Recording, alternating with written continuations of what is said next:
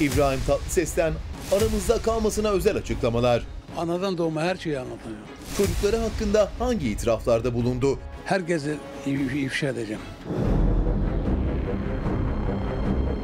Aramızda kalmasına konuşan İbrahim Tatlıses çocukları ile ilgili çarpıcı açıklamalar yaptı. İdo adamdır. Hakikaten İdo adamdır, melek adamdır. Melek de benim kızım. Urfa'da da iki tane kızım var. Bak. Dört tane kız, üç tane kızım var. Dört tane saymıyorum, dördüncüyü saymıyorum çünkü hiçbiri ahlaksız değil. Urfa'dakiler bebek. Elif da zaten bebek. Ben kelek oğlu kelek oldum. Hepsi melek, ben kelek. Ama ben iyi bir baba olduğumu biliyorum. Urfa'daki kızlarıma hiç şey yapmam. Gülden kızımı hacca, geçen sene hacca gönderdim. Onun hac, Kabe'ler ettiği dualar yeter bana. Allah razı olsun. Ben evlatlarımdan razıyım bir iş hariç. Tatlıses'e kızı Dilan Çıtağan miras haktır açıklamasını hatırlatıyoruz. Ben 72 yaşındayım. Hani köpek gibi çalışıyorum.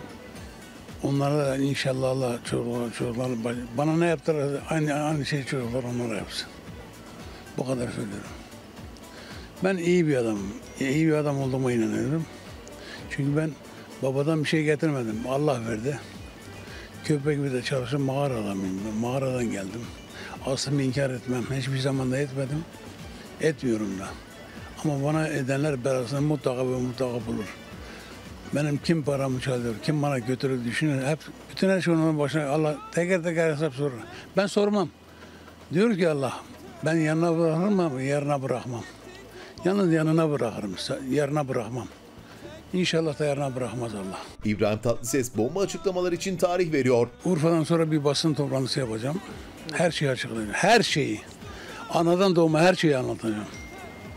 Bunu herkes böyle bilsin. Her şeyi tepeden tırnağa ne varsa. Herkese if- ifşa edeceğim. Benim kimse uğraşamaz. Ben çünkü halk, halk çocuğum, halkın adamıyım. Urfalıyım, Türk'üm. Türk olduğum için iftar ediyorum. Türk oğlu Türk'üm. Anam Kürt, babam Arap. Sizleri seviyorum. Son olarak hayatınızın film yapılmasını istiyor musunuz İbrahim Bey? Müslüm Gürses'in hayatında ben vardım. Yaptılar ben yokum. Benim hayatımda çok kişi, çok insan var ama ben hayatımda yazılmasını istemem çünkü öyle bir satırlık bir şey değil. Evet efendim. Yani bir, bir dönemde değil. 5-6 dönem. İdo Tatlıses baba olduktan sonra hayatında neler değişti?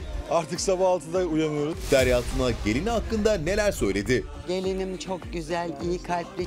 İbrahim Tatlıses'in İdo adamdır açıklamasından sonra İdo'ya uzatıyoruz mikrofonumuzu. Ama ben adamlığı ondan öğrendim. İdo Tatlıses aramızda kalmasına özel samimi açıklamalarda bulundu. Artık sabah 6'da uyanıyoruz. Saat akşam 9 dedim mi esnemeler başlıyor. Ee, Birçok şey değişti hayatımızda. Maymunluklar yapmaya başladım. At oluyorum, bir gün bir gün başka bir şey oluyorum, başka bir gün başka bir şey oluyorum. Ama güzel. Şu an güzel gidiyor. Evlilikte 3. yılı tamamladınız. 3 yıl. 3 mü oldu? 3 yıl birlikteliğimizin de 8. yılı ama. 9 yıla gireceğiz yani. Maşallah. Evet. Ben eksik diye söylüyorum. Evet bu arada. Nasıl geçti diyeceğim. Özellikle şu 3 yıldan bahsediyorum. falan diyor. Yok çok güzel geçti. Bak bak oradan da anne hemen muhteşem. E, Zaten güzel geçti ayrı. Var, muhteşem. Gelinim çok güzel, iyi kalpli, çok iyi bir anne. Torunlarım muhteşem, oğlum olağanüstü. Allah'ım bozmasın, nazardan korusun. Derya Tuna gelini ve oğlu hakkında bakın neler anlatıyor. İyi bir baba, iyi bir anne oldular. Çok önemli. Olmaya çalışıyoruz. Evet, evet. Olmaya evet. çalışıyoruz hala ama tabii ki de e, e, ba- bazen böyle şey oluyorduk mesela bir haber gördüğümüzde tam böyle ne olacak acaba ne yapmamız gerek bilmiyorduk ama şimdi mesela çocuktan sonra ufacık bir yara haberi bile görsek acayip bir duygu oldu içimizde. Zaten ülke bilmiyorum yani bir garip de olduk. Ne diyeceğimi de bilmiyorum da inşallah herkesin hayırlısı olsun. Herkesin Allah çocuğunu kendine bağışlasın. Şimdi İbrahim Tatlıses'in 72 yaşındayım. Bugüne kadar köpek gibi çalıştım. Ben mağaradan gelmiş adamım. Geldiğim yeri de hiçbir zaman saklamam. Arkamdan hain plan yapan, hesap ve pusu kuranın herkesin de açıkçası diyor ki Allah belasını versin diyor. Bunların arasında bunların arasında biri daha var ki e, şimdi diyor ya röportajın sonunda Urfa'dan döneceğim. Her şeyi anlatacağım. Dolmuş çok. Ee, Urfa'dan döndükten sonra her şeyi anlatacağım kelimesinin içinde ne olduğuna dair bir şey duyduk.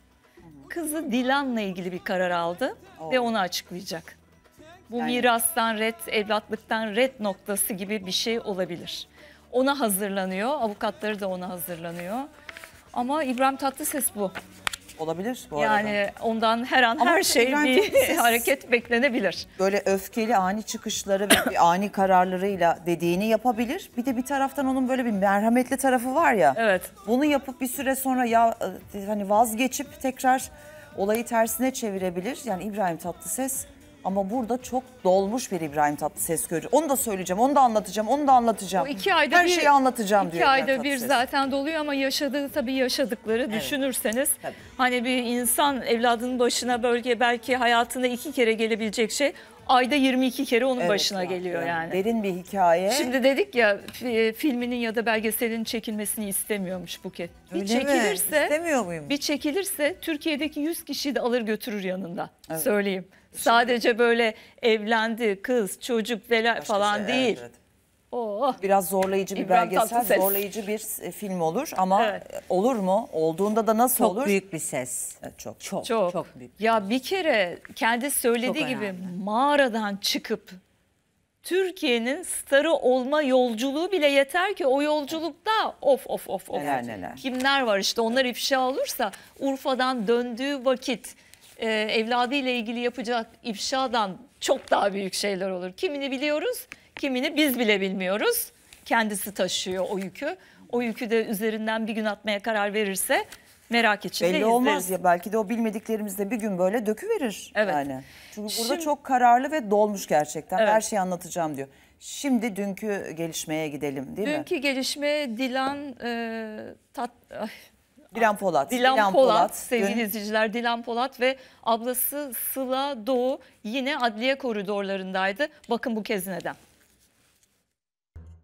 Evet bir tahliye partisinde iki kız kardeşin uygunsuz hareketi, uygunsuz e, o video içeriği sebebiyle İstanbul Cumhuriyet Başsavcılığınca hayasız hareket soruşturması kapsamında gözaltına alındılar. Her gün artık ne yapacaklar?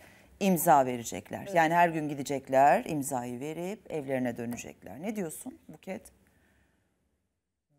Neye ne diyorsun? Yani Toptan ne diyorsun? Hayatları e, partiler, storyler ve adliye koridorlarında geçen bir aile. İnanılır gibi değil yani. Yani, yani beni gerçekten hani e, seviyorsanız hani bunlara yorum yaptırmayın da. Çünkü sevmiyorum hakikaten bu bu tarz bir yaşam biçimini. Evet. Ama e, yapı, yani bu gündemi de bu kadar meşgul edecek e, ve herkesi bu kadar ilgilenen ilgilenmeyen, herkesi illaki kendisiyle meşgul edecek kadar demek ki büyük bir travma bizler için. Evet. Bunu e, yaşıyor olmaları e, ve bizim yaşıyor olmamız üzücü. Yani E, fakat daha önceki Sıla Doğu, Dilan Polat ve Polat ailesiyle ilgili yani daha içeriye girmeden önce 4 Kasım'da içeriye girdiler biliyorsunuz. E, 288 gün çık yattı ve 19 Ağustos'ta da tahliye oldu. Cezaevine girmeden önceki Polatlarla cezaevinden çıkıp bütün bunları yaşayan Polatların takip ve biz sayfada paylaştığımızdaki tepkiler artık çok farklı. Daha önce evet sinir oluyorlardı, yazıyorlardı, seveni de çoktu. Şimdi artık yoğun bir tek, tepki Evet, var. evet, Onlar için işler eskisi gibi değil, kolay değil. Eski sempatiyi yakalamakta zorlandıklarını görüyorum. Ben sadece e, sosyal medyadaki yorumlardan yola çıkarak.